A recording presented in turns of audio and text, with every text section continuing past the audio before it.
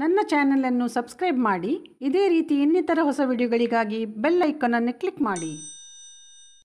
ನಾನು ನಿಮ್ಗೆ ಇವತ್ತು ಎಗ್ ತವಾ ಮಸಾಲ ಯಾವ ರೀತಿ ಮಾಡೋದು ಅಂತೇಳಿ ತೋರಿಸಿಕೊಡ್ತಾ ಇದ್ದೇನೆ. ಯಾವೆಲ್ಲ ವಸ್ತು ಬೇಕು ಅಂತೇಳಿ ಹೇಳ್ತೇನೆ. ಬನ್ನಿ, ತಯಾರು ಮಾಡೋಣ.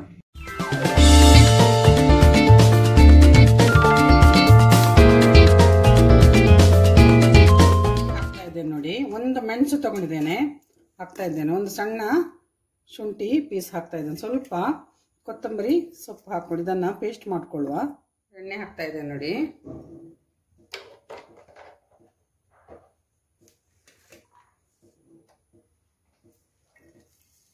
ಸಣ್ಣದಾಗಿ ಹೆಚ್ಕೊಂಡ ಈರುಳ್ಳಿಯನ್ನು ಫ್ರೈ ಮಾಡ್ಕೊಳ್ಳುವ.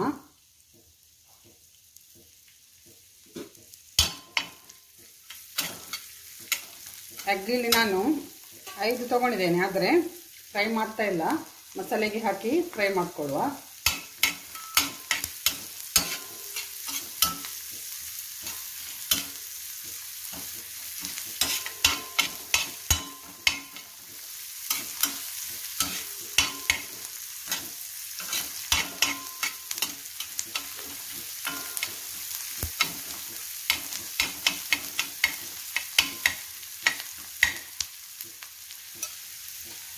ಒಂದು ಗ್ರೀನ್ ಚಿಲ್ಲಿ ತೊಗೊಂಡಿದ್ದೇನೆ.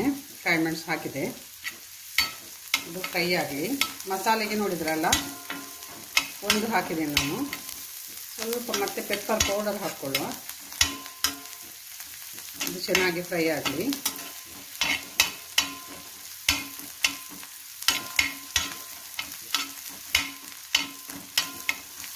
ಹಾಕ್ಕೊಳ್ಳುವ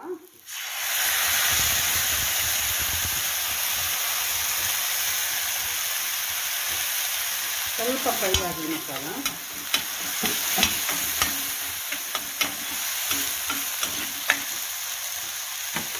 ಪೆಪ್ಪರ್ ಹಾಕ್ತಾ ಇದ್ದೇನೆ ಸಣ್ಣ ಸ್ಪೂನಲ್ಲಿ ಸ್ವಲ್ಪ ಹಾಕೊಳ್ಳುವ ಹಲ್ದಿ ಹಾಕಿದೆ ಪೆಪ್ಪರ್ ಹಾಕಿದೆ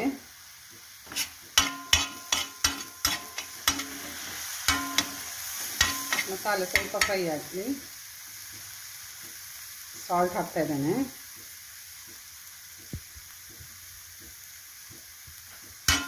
ಎರಡು ಪಿಂಚಿನಷ್ಟು ಹಾಕಿದೆ ನಾನು ರುಚಿ ನೋಡ್ಕೊಂಡ್ರೆ ಆಯ್ತು. ಮಸಾಲೆ ರುಚಿ ನೋಡ್ಕೊಳ್ಬೋದು ಬೇಕಿದ್ರೆ.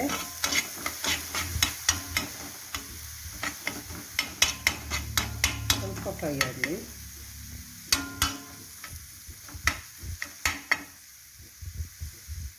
ಸ್ವಲ್ಪ ಸ್ಲೈಟ್ ಮಾಡ್ಕೊಳ್ಳುವ ಹೀಗೆ. ಸ್ಲೈಟಾಗಿ.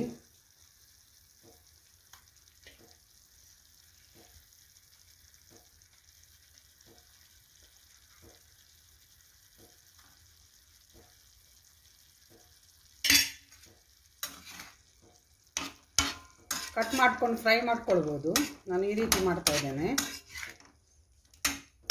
ಕಟ್ ಮಾಡ್ಕೊಂಡು ಚೆನ್ನಾಗಿ ಫ್ರೈ ಮಾಡಿಕೊಂಡು ಆಮೇಲೆ ಮಸಾಲೆ ಹಾಕ್ಕೊಳ್ಬೋದು ನಮ್ಮ ಮಕ್ಕಳಿಗೆ ಇದೇ ಇಷ್ಟ ಆಗುತ್ತೆ.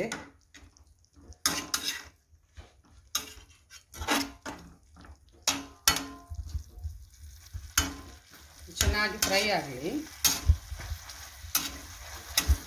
ಆಮೇಲೆ ಕೊರಿಯಾ ಕೊರಿಯಾಂಡರ್ ಲೀಫಿಂದ ಗಾರ್ನಿಷ್ ಮಾಡ್ಕೊಳ್ಳುವ ತೆಗಿವ ರೆಡಿ ಆಯಿತು ನೋಡಿ. ಎಗ್ ತವ ಯಾವ ರೀತಿ ಮಾಡೋದು ಅಂತೇಳಿ ತೋರಿಸಿಕೊಟ್ಟೆ ಅಲ್ಲ. ನೀವು ಟ್ರೈ ಮಾಡಿ. ಕಮೆಂಟ್ ಬಾಕ್ಸಲ್ಲಿ ಕಮೆಂಟ್ ಮಾಡಿ ಯಾವ ರೀತಿ ಆಯಿತು ಅಂತೇಳಿ ಲೈಕ್ ಮಾಡಿ ಶೇರ್ ಮಾಡಿ ಸಬ್ಸ್ಕ್ರೈಬ್ ಮಾಡಿ. ನಾಳೆ ಇನ್ನೊಂದು ಹೊಸ ವೀಡಿಯೋದೊಂದಿಗೆ ನಿಮ್ಮ ಮುಂದೆ ಬರ್ತಾ ಇದ್ದೇನೆ. ಅಲ್ಲಿವರೆಗೆ ಕಾಯ್ತಾ ಇರಿ. ಬಾಯ್ ಬಾಯ್